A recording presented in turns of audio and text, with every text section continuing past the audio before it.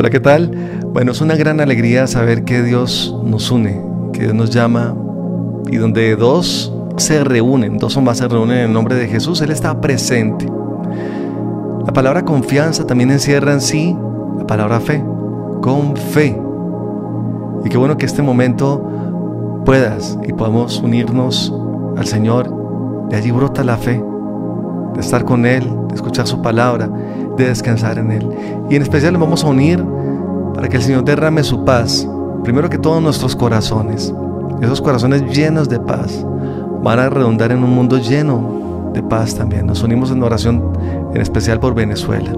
Si tú en este momento estás en Venezuela, nos estás escuchando, estás allí viendo este video, dile al Señor, yo confío en ti. Dile, yo confío en ti. Vamos, si puedes hacerlo, cierra tus ojos y todos digámosle al Señor, yo confío en ti. Yo confío en ti, en tu misericordia en tu fidelidad. Yo confío en ti. Yo confío en ti, en tu misericordia en tu fidelidad. Yo confío, yo confío en ti.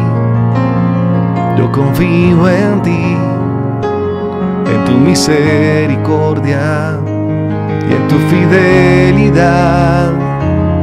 Yo confío en ti, yo confío en ti, en tu misericordia y en tu fidelidad. Dile, roca mía, roca mía, refugio mío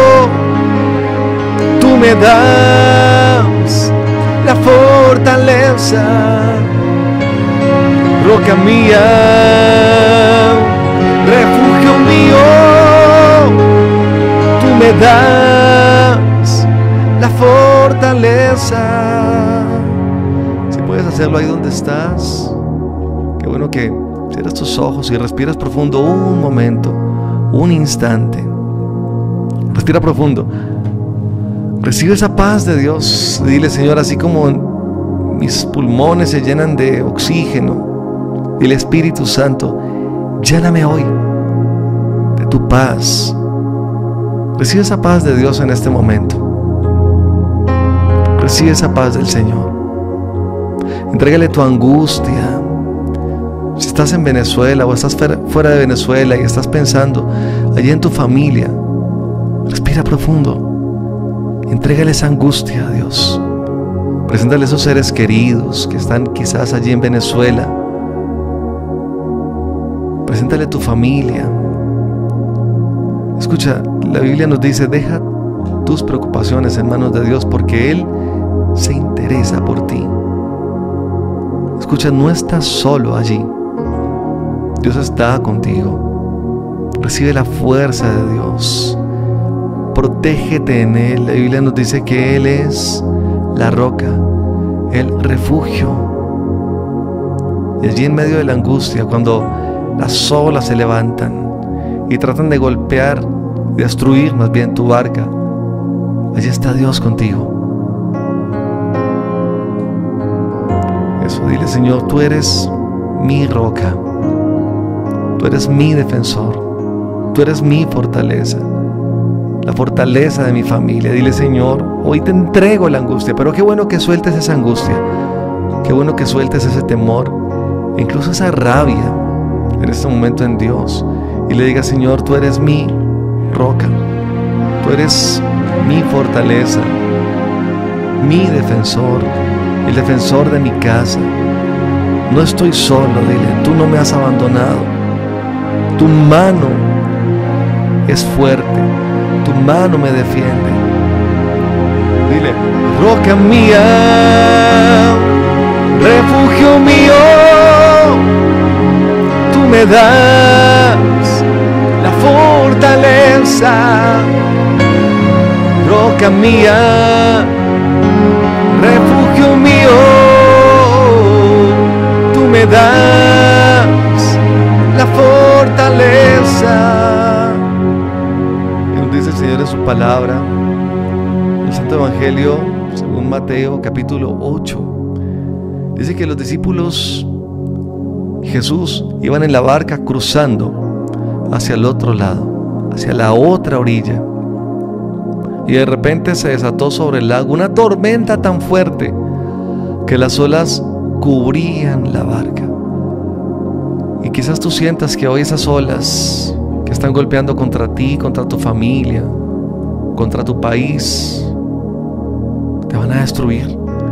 Y vienen esos pensamientos que traen oscuridad, que nublen la razón, más bien te hacen alejarte de la paz de Dios. Y piensas tal vez que Dios te abandonó.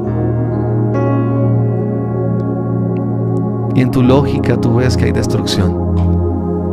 En tu lógica ves que la angustia te nubla, te rodea, que no hay esperanzas.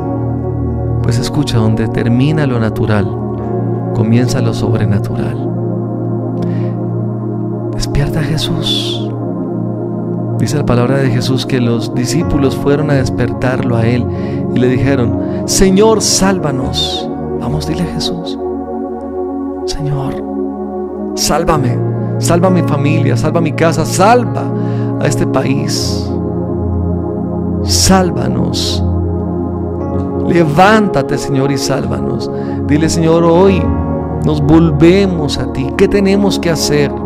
¿Qué debemos cambiar nosotros, Señor, para que tú te sientas agradado en mi casa? Dile, para que te sientas agradado con mi familia. ¿Qué debemos cambiar? ¿Qué debemos dejar de escuchar? ¿Qué debemos dejar de hacer? Dile, queremos agradarte. Vuélvete a nosotros, Señor. Hoy nos volvemos a ti. Si hay algo de lo que te arrepientas, si hay algo que, que Dios te coloque en este momento, si hay algo en lo que le debas de pedir perdón a Dios, es un buen momento. Mientras escuchas el piano, si hay algo en tu vida que, pesa, si un resentimiento con alguien incluso de tu casa, con otra persona, incluso con los directivos, las personas que están arriba,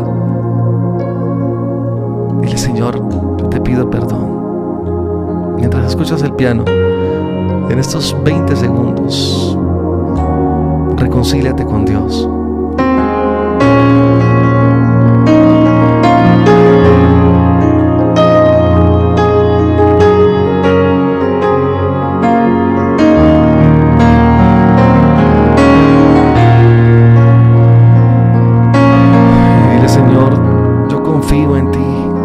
Confío en ti, en tu misericordia, en tu fidelidad. Yo confío en ti, yo confío en ti, en tu misericordia en tu fidelidad. Vamos, cántale conmigo. Yo confío en ti, yo confío en ti,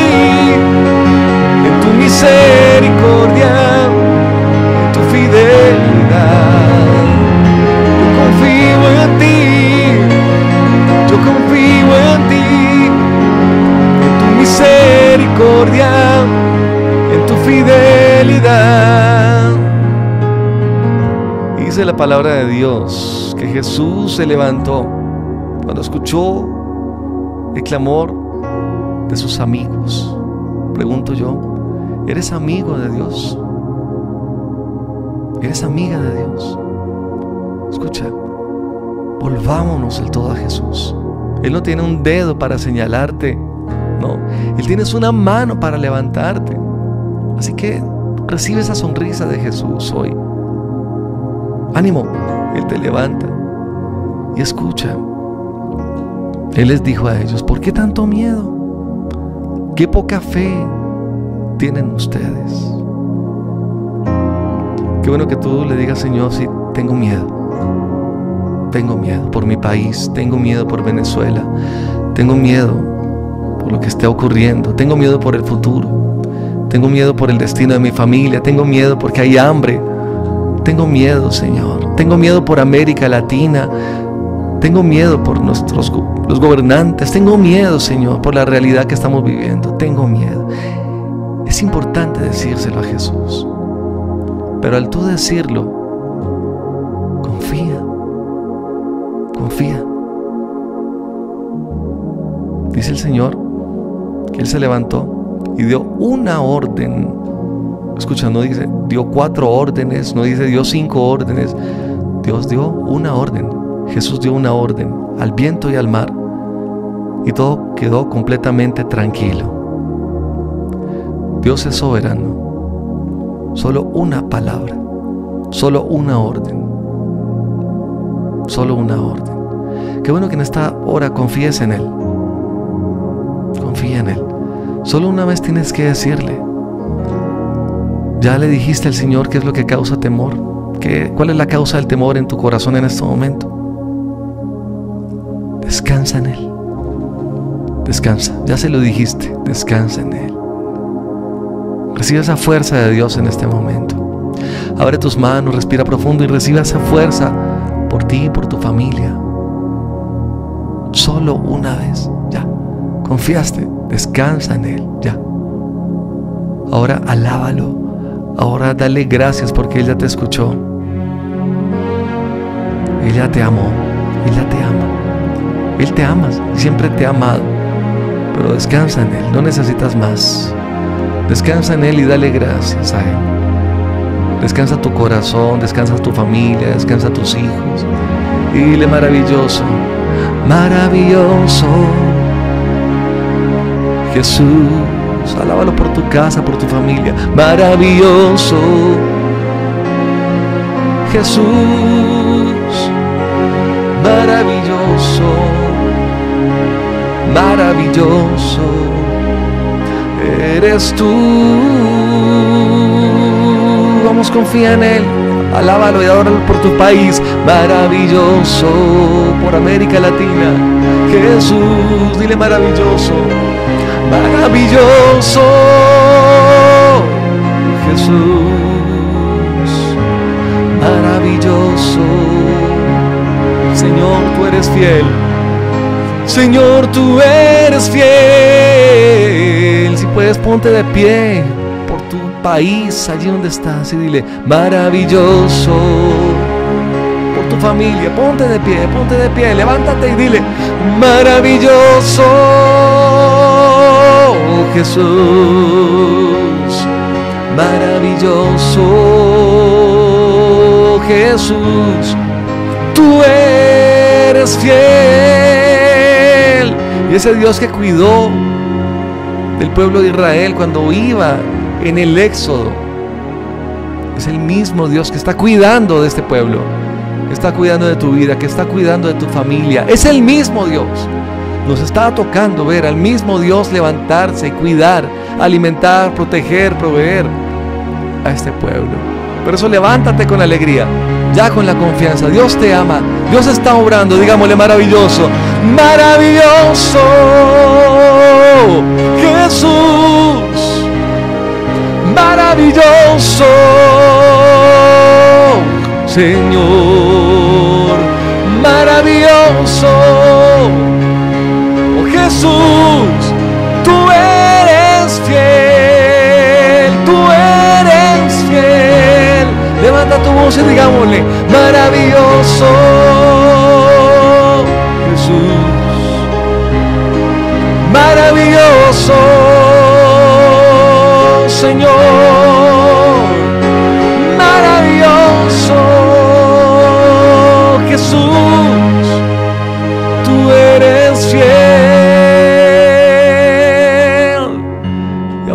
cambio lo debes dar, lo debes dar tú.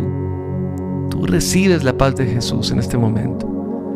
Y qué bueno que transmitas esa paz también a tu familia. Una sonrisa.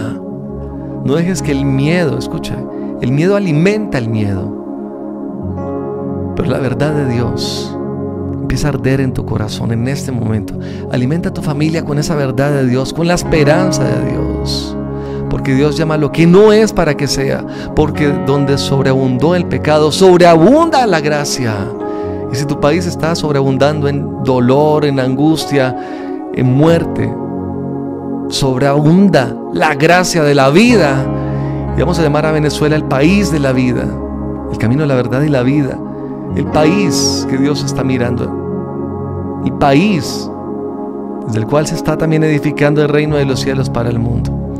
Así es. Y cualquiera sea tu país, escucha, donde abunda el pecado, sobreabunda la gracia. Qué bueno que terminemos dándole gracias a Él. Dile gracias, maravilloso Dios, poderoso Dios, santo, príncipe de paz, como dice el Señor a través del profeta Isaías, Isaías, príncipe de paz. Comparte este mensaje, comparte este video, comparte, comparte. Buenas noticias, las buenas nuevas, el Evangelio, la verdad del Evangelio. A ti te damos gracias, Señor, tuya sea la gloria, la alabanza y la honra por todos los siglos de los siglos. Amén y amén. Bueno, Dios te bendiga.